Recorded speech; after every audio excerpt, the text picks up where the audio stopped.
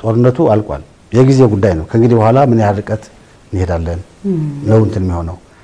ጦርነቱን ኢትዮጵያ ታሸንፋለች። ውጊያ ግን እዚህም እዚያም ሊበላሽ ይችላል። ውጊያ የሚበላሹበት በጣም ብዙ ፋክተሮች ስላሉ በራሳቸው አንደበት የሀገር መከላከያ ሰራዊት ይህን ጦርነት ብቻውን አይችለውም፣ ሊቋቋመው አይችለውም ብለዋል። ከዚህ የበለጠ አድሚሽን ፖለቲካል አድሚሽን ሊኖር አይችልም። እነሱ ገፉ ሲባል ሰላም ነው። አንድ ሰው አልደወለልኝም። ይደንቀኛል። የዓለም ሰዎች ለውሸት ለአፋቸው እንኳን የሞከረልኝ ሰው የለም። ባለፈው ግን አታጥቃተው ዲስካይት መደረግ አለበት ለሚል በጣም ችግር ነበር ፕሬሸሩ። እነሱ ገፉ ሲባል ሰላም ነው። እኛ ልንገፋ ነው ሲባል ደግሞ ሽብር ብዙ ነው።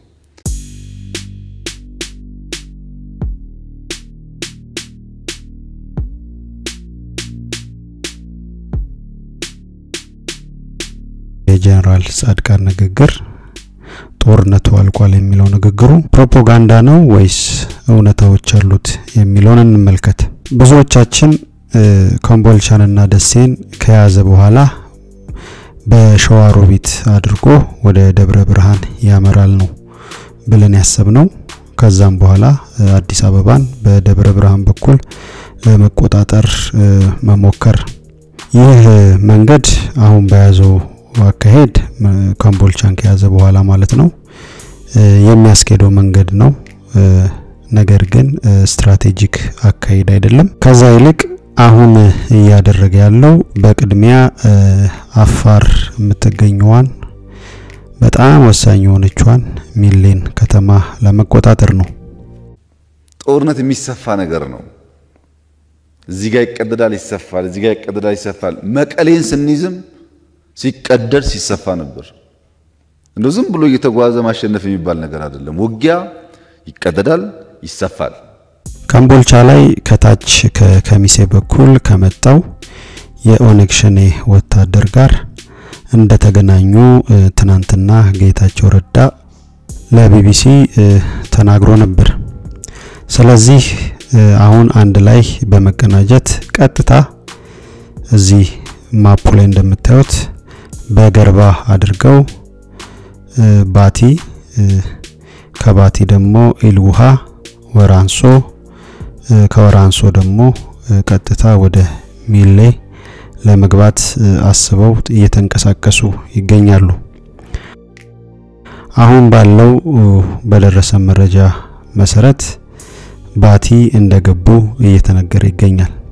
ባቲና አካባቢው ከበፊቱም ብዙ የሸኔ ወታደር እንዳለ ይነገራል።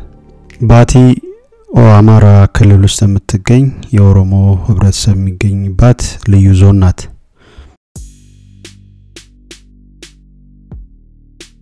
ከኮምቦልቻ ሚሌ 141 ኪሎ ሜትር ሲሆን ከባቲ ሚሌ ደግሞ 99 ኪሎ ሜትር ብቻ ነው። ያ ማለት ከአዳማ ናዝሬት አዲስ አበባ እንደማለት ነው ርቀቱ። ስለዚህ ሚሌ ለመድረስ በአሁኑ ሰዓት የ99 ኪሎ ሜትር እንደቀራቸው እየተነገረ ይገኛል።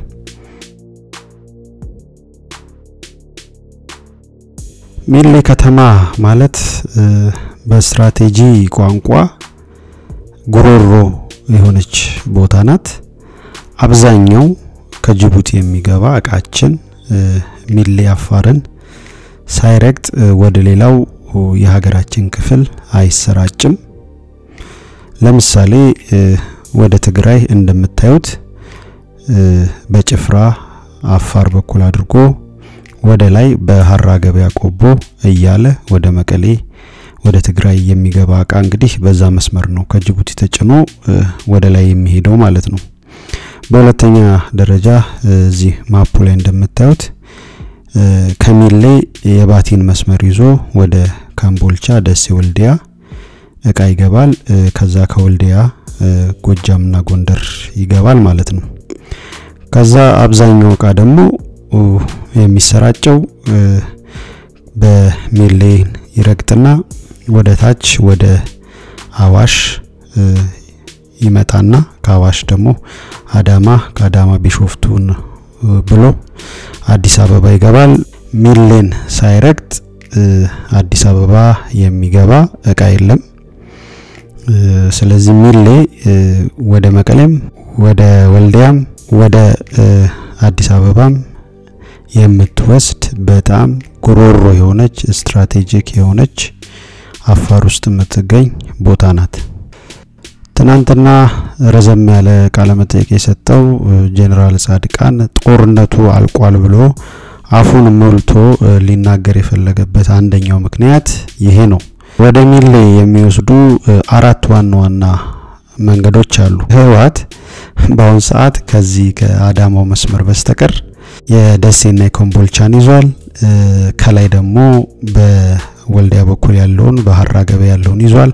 ከታች ደግሞ በቆቦ በኩል ወደ ታች መጥቶ ወደ ጭፍራ የሚሄደውንም ሙሉ በሙሉ ወልዲያን መያዝ ስለቻለ ስትራቴጂክ ቦታ ስለሆነች ወልዲያን እዛ ጋር ሆኖ ሁለቱን መንትዬ መንገዶች እዚህ ማፑ ላይ የምታዩትን መቆጣጠር ችሏል። ስለዚህ የቀረችዋ አንድ መስመር የአዳማዋ መስመር ናት ማለት ነው። የአዳማዋን መስመር ለመዝጋት ነው እንግዲህ ወደ ሚሌ እየተንቀሳቀሰ ያለው።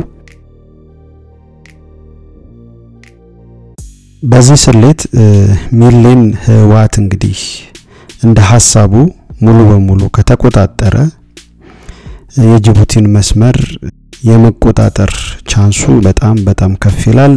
የትኛውንም የንግድ flow ቢያንስ ቢያንስ እንዳይገባ የማስተጓጎል አቅም ይኖረዋል። አቅሙ ደግሞ ከበረታ ሙሉ በሙሉ ምንም አይነት እቃ ወደ አዲስ አበባ እንዳይገባ የማድረግ እድሉን የመዝጋት እድሉን ከፍ ያደርግለታል። ሌላው ደግሞ ይህንን መስመር የሚሌን መስመር የሰመራ መስመር ከጅቡቲ የሚወጣውን መስመር መቆጣጠር ከቻሉ የፈለጉትን መሳሪያ ለጦርነቱ ሊያግዛቸው የሚችል ድሮንንም ጨምሮ በፈለጉበት ጊዜ በጅቡቲ ወደብ ጋር ማስገባት እንዲችሉ እድል ያገኛሉ ማለት ነው። እንደምታውቁት ጠላቶቻችን እነ ግብጽና አሜሪካ ተዘጋጅተው እቃ አዘጋጅተው ጅቡቲ ላይ እየጠበቋቸው ይገኛሉ። ፈታኝ ጦር የሚጠብቃቸው በዛ በኩል እንግዲህ የአፋር ጦር ነው። የፌዴራል መንግስቱ እንግዲህ እንደሰማሁት ከሆነ በዛ በኩል የቀረውን ያለውን ሁሉ ኃይል እንደሚያሰማራ ይታወቃል፣ ሚሌን ላለማስረከብ። ሰሞኑን እንግዲህ። ይህንንም ታሳቢ በማድረግ ይመስለኛል።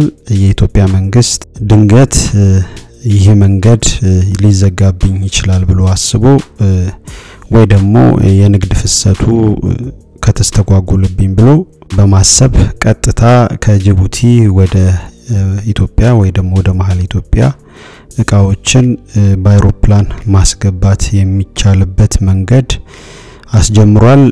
ወደብ የአይሮፕላን የሚያርፍበት ቦታ አመቻችቶ ወደብ እዛ ጋር ሰርቷል። in case እንግዲህ ይህ ነገር የሚሌው መስመር ከተዘጋ በዚህ መልኩ እቃ ለማስገባት ይመስለኛል ይሄንን ስትራቴጂ የነደፈው። በምንም ሂሳብ ሚሌን የሚቆጣጠር ቡድን የሚቀጥሉትን ጊዜያት የሚቀጥሉትን ጦርነቶች በበላይነት ለማሸነፍ ቁልፉን ያዘ እንደማለት ነው። ሌላው የህወሓት calculation ምንድን ነው? የመሀሉ ህዝብ ይህንን መንገድ ከዘጋንበትና ምንም አይነት እቃ እንዳይገባ ካደረግን ራሱ ህዝቡ ከውስጥ ፌዴራል መንግስቱን ሊያስቸግር ይችላል። በሰልፍም ሆነ በጉልበት የሚበላው ሲያጣ አመጽ ሊቀሰቅስ ይችላል። ኑሮ ሲወደድ፣ ስራው ሲጠፋ መንግስት ላይ ይነሳል። በዛ ምክንያት ያው የሚፈጠሩ ስንጥቆች፣ ክፍተቶች ይኖራሉ ማለት ነው። በሌላ ሀገር እንደታዩት ወደዛ እንደሚያመሩ ወደ ሰልፍ፣ ወደ መንግስት ቅየራ እንደሚያመሩ አይተናል። ስለዚህ ይሄ ነው አንደኛው ሌላኛው ካልኩሌሽኑ ማለት ነው ሚሌን ለመያዝ የፈለገበት። ስለዚህ አሁን ባለው ሁኔታ እንደኔ መሬት ላይ እየታየ ባለውም እንቅስቃሴ ከከምቦልቻ ሸዋሮቢትን ይዞ ወደ ደብረ ብርሃን ከዛም አዲስ አበባ ይልቅ አሁን እያደረገ ያለው ብዙ ኃይሉንም እያሰማራ ያለው ከከምቦልቻ የባቲን መስመር ይዞ ከአፋር ጋር ገጥሞ ሚሌን በእጁ ለማስገባት የቆረጠ ይመስለኛል። ይህ ማለት በሸዋሮቢት ወደ ደብረ ብርሃን አያቀናም ማለት አይደለም። ነገር ግን እንደ ጦርነት ስታዩት ወደ አፋር አቅንቶ ሚሌን መያዝ የበለጠ ለአሸናፊነት ያንደረድራል። ጠቅላይ ሚኒስትሩ እንዳሉት አሁንም ቁልፉ በእኛ ላይ ነው ያለው። ከመሸነፍ መዳኛው ቁልፍ በእኛ እጅ ነው ያለው። እንዳንሸነፍ ከፈለግን ቁልፉ እጅ ነው ያለው። አንድ መሆን፣ ቀን ከሌት መስራት፣ ዋጋ ለመክፈል ዝግጁ መሆን፣ ያ ከሆነ አንሸነፍም። የምናሸንፍበት እድል ግን የምናገኘው ከጠላት ነው። ለእኔ ደግሞ ዋነኛው ቁልፉ ያለው የአማራ ሕዝብ ላይ ነው ብዬ ነው ማምነው። የፌዴራል መንግስቱ እርዳታ በፍጥነት ጊዜ ሳያባክን የአማራን ሕዝብ ማስታጠቅ ችሎ መርዳት ችሎ ደሴንና ካምቦልቻን በተለይ እነዚህን ሁለት ከተሞች በጣም በፍጥነት መልሶ መቆጣጠር ከተቻለ ከኋላ ህወሓትን በፍጥነት በሄደበት መንገድ በባቲው መንገድ መከተል ይቻላል።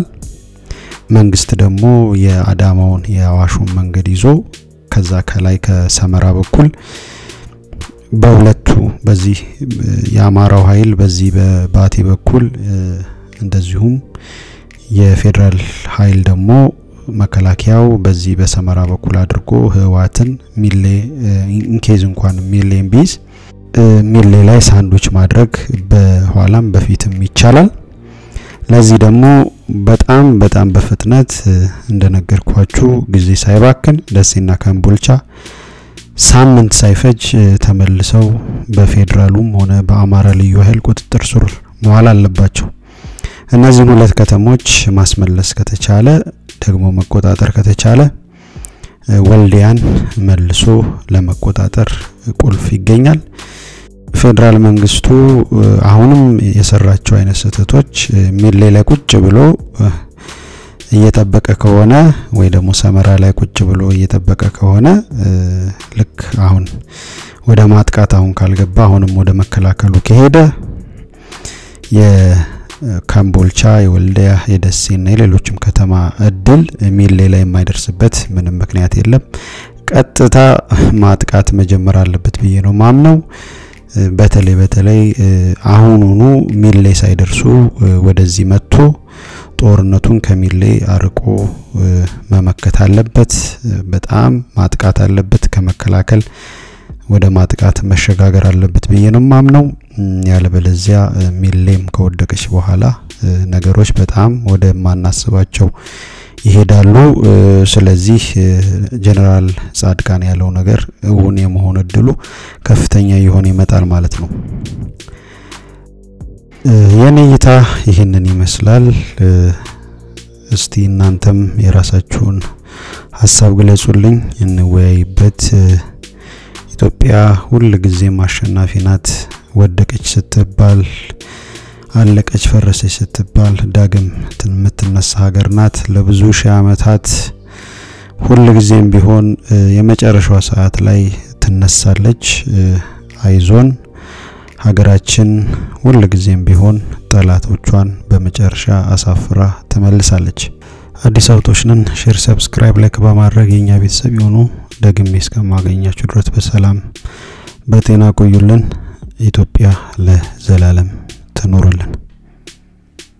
አይዟችሁ፣ ስራችሁን ስሩ። በመልካም ዜና ደግሞ መልሰን እንገናኛለን።